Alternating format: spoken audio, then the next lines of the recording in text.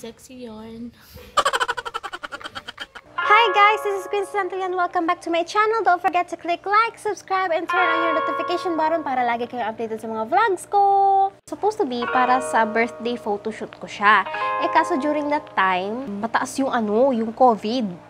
Kaya hindi hindi natuloy. Pero um, nag-chat ako sa ating ah, napakagaling photographer, si Sir Jayo. Ayun guys, meron siyang Facebook page. Please do like. And meron din siyang ah, YouTube channel. Mag-subscribe kayo. And meron din siyang TikTok account. So, ayan. Follow niyo siya guys. Thank you, thank you so much, Sir Jayo, for making my dream come true. dream ko talaga yung ano, yung retro photoshoot. Natuloy siya around February 27 eh lagpas na yun sa ano ko, sa birthday ko kasi 'di ba February 11 yung birthday ko. Pero tinuloy pa rin namin.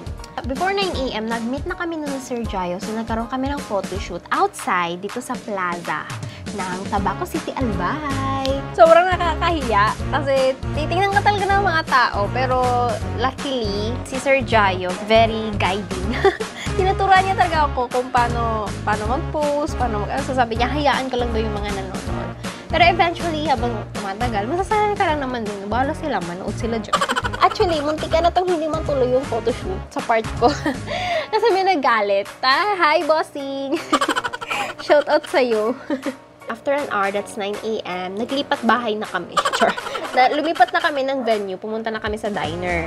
Nagkaroon kami ng retro photoshoot dito sa Typical Diner. Ayan, thank you, thank you so much, Sir John Miguel Brosas, for accommodating us. Kasi yung Typical Diner, yung ambience niya talaga is very uh, retro. So, dito sa lugar namin, sa Tabaco City, sila lang yung may ganong klase. So, it's very fit talaga sa aking uh, photoshoot. Their business hours is 10 a.m. to 9 p.m. That's every day. Kaso, so in-accommodate nila kami an hour earlier. They are located sa Lorente Street, Tabaco City, besides Digital Nut Shop, at the back of South Star Drug. Ayun. Meron din silang eh, Facebook page. That's Typical Diner. After that, uh, palit damit.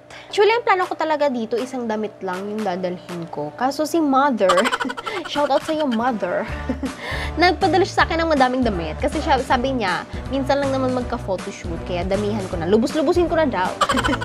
so, ayun. Thank you, thank you so much, Mother. Na dito guys sa Typical Diner is that it's very cozy. By the size of the venue, it can accommodate uh, around 15 to 20 people. So, kung in case man may mga meetings kayo, company meetings, company lunch, dinner, pwedeng-pwede kayo dito sa typical diner. Actually, pwede siya for birthday occasions. It's very cute ang ambience niya. May mga portraits din.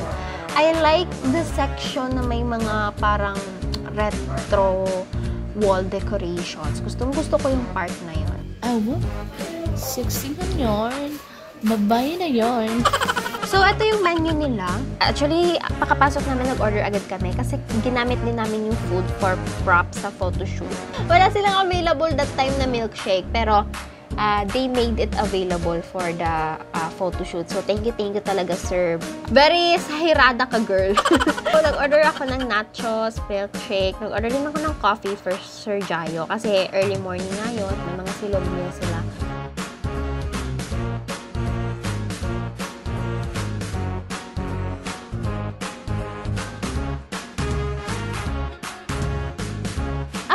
Ng photoshoot, kumain na kami. Ayan pala, shoutout sa iyo, Joy Vibal. Ayan, siya ang aking naging photographer during that time. Best friend ko yan. So, doon na, doon na nagtapos yung aming retro photoshoot. So, kung gusto niyo guys makita yung results, I will post it on my Instagram. So don't forget to click like on my official Facebook page. That's Princess Antillian. UJ on my Instagram, IG, and TikTok ID, KYUJ, triple EY. Again, that's KYUJ, triple EY.